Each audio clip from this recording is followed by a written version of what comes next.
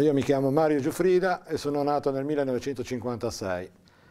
Nel periodo delle famose, chiamiamole famose, bombe di Savona, io frequentavo in indirizzo macchinisti l'Istituto Tecnico Nautico Leon Pancaldi, che all'epoca si trovava in, piazza Cavallotti, nello stesso plesso che eh, dividevamo con il liceo classico. Io ai tempi abitavo a Loano, di conseguenza ogni mattina, dal lunedì al sabato, perché a quei tempi la scuola durava sei, sei giorni, venivamo in treno, venivo in treno con tanti altri studenti, pigliando un treno, diciamo l'anno partiva verso le 7 meno 10 del mattino, che faceva Albenga, fermava tutte le stazioni fino a Savona, poi da Savona sarebbe continuato. Ed era il treno degli studenti, faceva Albenga, Ceriale, Borghetto, Loano, Pietra, Borgio, finale Marina e fino al Pia, faceva due fermate a Varigotti, difatti all'inizio io credevo che Varigotti fosse un comune invece una frazione comunque di finale, Noli Spottono, sotto il, la Bergeggi, sotto diciamo, la montagna, e vado e poi arrivava a, a Savona. Savona praticamente circa 8-10 avevamo giusto i 10 minuti, un quarto d'ora, ma noi eravamo i più fortunati perché sia il nautico che tutte le altre scuole, ragioneria, geometri, eh, i licei, erano tutti diciamo, vicini i poveretti erano gli amici del, degli industriali che avevano un bel pezzo di strada da fare. Questa naturalmente era la stazione eh, in Piazza del Popolo, vecchia stazione, poi la stazione nuova. Diciamo che in quel periodo noi, forse anche perché comunque non c'era l'informazione che ci può essere adesso di televisioni private, di ehm, radio private, dei social che, sui telefonini, pensavamo cioè non che a Savona non succedesse niente, nel senso, sì, ci sono le bombe, ma non credevamo, anche perché eh, solitamente si colpiscono sempre delle città molto più grosse, più, dire, più di nome, ecco, rispetto a Savona. Ma vivevamo sempre, ovvio, col terrore, anche, eh,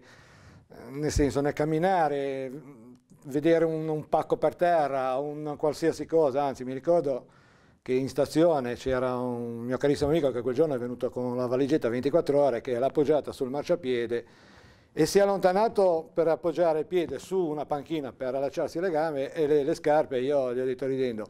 in questo momento un'azione un del genere io ho visto, ma se uno vede la valigetta incomincia a gridare che pensa che, sia, che possa essere una bomba, anche perché a quei tempi comunque non c'erano i sottopassi nella stazione vecchia, si attraversava i, i binari, comunque viaggiavi veloce. La, diciamo, la, nostra fortuna nell'unico caso che, uh, dove c'è stato una, diciamo, un morto è stata che noi ai tempi facevamo quel pomeriggio, in particolare facevamo lezioni di officina. L'officina era ubicata al uh, Priamar, nel vialone che porta dall'incrocio dove c'era l'ex uh, ospedale San Paolo alla piscina. La fortuna è che noi, siccome avevamo il treno di rientro che aveva partiva mi sembra 17.30 o 17.32, eravamo autorizzati a uscire un quarto d'ora prima. E il passaggio era proprio quello, perché attraversavi i giardini e passavi tipo, non so, 15-20 metri del palazzo che poi è esploso, per andare, non so, in via 20 settembre o la via prima, andare in stazione. E l'esplosione è successa, noi, qualcuno l'ha sentita, l'ha percepita, perché poi col caos che ci poteva essere sul treno, tutti i ragazzi che rientravamo, mentre uscivamo dalla stazione di eh, Savona, che ci, ci, diciamo, ci, portava verso casa, c'è stata questa esplosione. Se fossimo invece usciti alle 17.30 facendo quel percorso, eh, ci saremmo stati penso a 15-20 metri, perché comunque dai giardini il palazzo era proprio lì. Questo ci è andata bene. Diciamo che ogni volta che comunque c'è un'esplosione in giro con vittime e tutto, mi viene in mente questo periodo delle, delle bombe e diciamo siamo stati fortunati, anche se, anche se questo è il mio pensiero, comunque queste persone o questa persona o chi fosse non voleva far vittime, perché se avesse voluto far vittime le, le bombe le posizionava alla stazione ferroviaria, al termine degli autobus, al, al mercato civico. E non, non Pensiamoci anche soltanto alla fiera di Santa Lucia con tutte quelle persone al pomeriggio. Molto probabilmente la vittima che c'è stata o pensavano che a quell'ora fosse fuori, non fosse, non, cioè era in giro, non, non, ci doveva essere. E la, la, matrice, io ho sentito parlare di bombe nere, per l'amor di Dio, gli esperti qualcosa per dire questo l'avevano dato, io non so come fanno a dirlo perché nessuno l'ha rivendicate. Non c'è stato un minimo, diciamo, persona, diciamo, indagata, la mia pensiero era, erano persone che stavano iniziando la loro attività criminosa preparando delle bombe e hanno provato eh, il loro funzionamento, che cosa poteva succedere.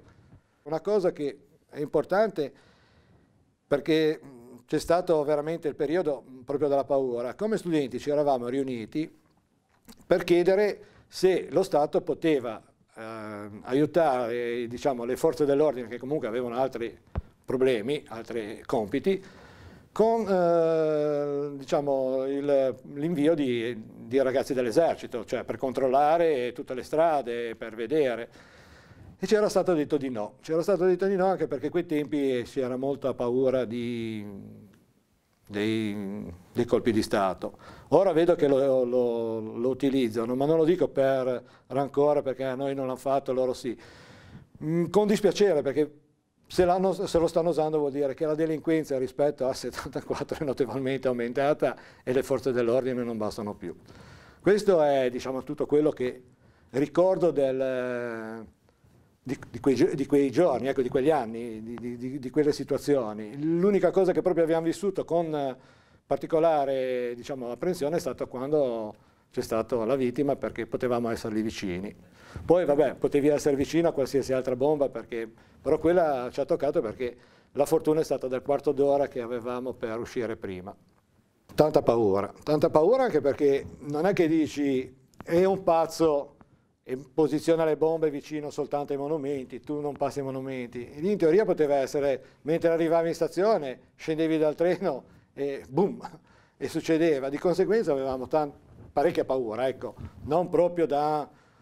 non essere i soliti idioti sul treno o comunque per le strade, a divertirci e parlare, però guardavamo in giro sempre con attenzione per vedere se ci poteva essere qualche oggetto, qualcosa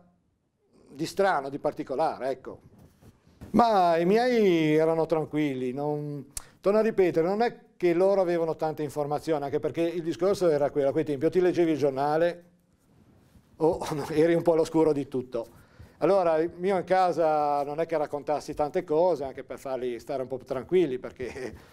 d'altronde a scuola dovevo andare. E, almeno loro erano tranquilli senza sapere dire sì, devi andare a scuola, però ho sempre il patema d'anima che potrebbe succedere qualcosa, che poi può succedere qualcosa, un deragliamento normale, treno, via di seguito. Però sapere di andare a scuola con un, un, pazzo, dei pazzi, non so quelli che sono, che collocavano ordini in giro per Savona, non era una cosa molto piacevole, ecco, da parte di un genitore soprattutto. Il discorso era speriamo che non succeda, speriamo che finisca, ecco, speriamo che eh, le forze dell'ordine riescano a risalire a qualcuno, a qualcosa, a, che, torno a ripetere, quello che è strano è che nessuno le ha mai rivendicate, al di là che possa essere destra o sinistra, i colori non interessano, potevano essere... È il fatto che proprio non, non, non sono riusciti a, come dire, probabilmente a, a, partire, a partire per l'indagine, perché è partita l'indagine, avevano aperto il fascicolo, ma non si è mai fatto un nome un, da dire abbiamo un'ipotesi che potevano essere, non so, mafiosi o quello che erano, ecco. Quando soprattutto vabbè, quando viene fuori sui giornali che si ricorda le bombe di Savona, con qualcuno se ne parla perché non, non tanti se le ricordano, specialmente quelli, soprattutto quelli esterni, cioè nel senso che non erano di Savona, quelli di Savona bene o male e comunque la loro città l'hanno vissuta. Qualcuno, ah perché hanno messo le bombe? Dico sì, c'era un periodo che si andava, mettevano, c'erano delle bombe, ogni tanto una bomba esplodeva, per un periodo molto breve comunque fortunatamente e c'era stata un'unica vittima. Loro hanno sentito il botto, l'hanno sentito veramente bene, quando hanno detto eh, sai abbiamo sentito il botto perché comunque loro la maggior parte sono scesi verso il vecchio San Paolo in questa direzione perché probabilmente abitavano da quelle parti, noi era la strada. Hanno detto che hanno sentito un forte botto, un'esplosione, via di seguito, ma diciamo è morta lì, ecco, non, come dire, mi viene in mente, no? E dico, però le bombe non, non c'è più stato, eh, come dire, nessun, eh, nessuno che è stato, diciamo, indicato, nessuno perseguito, un'idea, ecco, da, poi muore lì, poi eh, giustamente qualche volta sul giornale leggo periodo delle bombe, eh, allora dico eh, è vero, quel periodo è stato un periodo, torno a ripetere, vivevi ma un po' di terrore ce l'avevi, ecco. se poi loro scopo era quello di vivere il terrore, però per quello che poi è successo, per quello che ogni tanto leggo via di seguito, il terrore serve per fare un qualcosa. Qua a Savona non hanno fatto nulla, torno a ripetere, se non erano lì a esercitarsi per poi purtroppo fare vittime altrove, come quello che è successo con una bomber, un po', ecco.